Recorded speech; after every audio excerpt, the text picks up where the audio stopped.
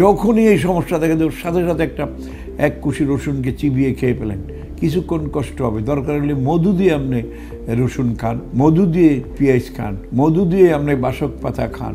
আপনার ডায়াবেটিস আছে, তারপরে একটু মধু দিয়ে আপনি নানা একটু গুড় দিয়ে অথবা একটু তাল মিস্ত্রি দিয়ে আপনি বাসক পাতা, আপনি তুলসী পাতা, আপনি পুদিনা পাতা এগুলি চিবিয়ে চিবিয়ে বেশি বেশি করে খেতে হবে। মানে মূল একটা বিশেষ সংগ্রাম আরম্ভ করে দিতে হবে।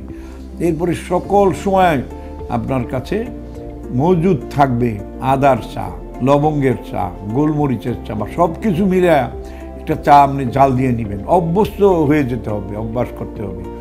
এছাড়া এই রোগকে আপনি প্রতিহত করতে পারবেন না। এখন এ থেকে আসে? এর মূল হেতু কি? এর মূল অ্যাডভাইজার কে? তার নাম হলো মাইটস নামক একটা ক্ষুদ্র জীবাণু। এটা আপনার পুরনো কাপড়ের সাথে থাকে, বাড়ির দেয়ালে থাকে, বাড়ির পর্দায় থাকে, বাড়ির চাদরে থাকে। সবচেয়ে তার নিরাপদ স্থান হলো আমাদের অতি পুরাতন বালিশটি। যে বালিশটি আমি বিশ বছরও কোনো দিন পরিষ্কার করি নাই। উপরের একটা কাবার বদল হইতেছে।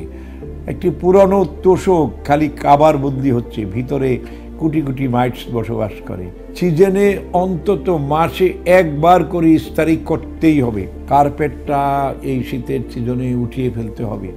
যেই বাসায় আপনার রেশমা আছে, আপনি সেই বাসায় কোনো কার্পেট ব্যবহার করতে পারবেন না, কোনো পাপুর ব্যবহার করতে পারবেন না, কোনো পর্দা ব্যবহার করতে পারবেন না, বাসি কাপড় ঘরে রাখতে পারবেন না, অপ্রয়োজনীয় কাপড় রাখতে পারবেন না, পুরনো কম্বল রাখতে পারবেন না, পুরনো চাদর রাখতে পারবেন না, ইস্ত্রি ছাড়া কোনো কাপড় ব্যবহার করতে পারবেন না বাড়িতে।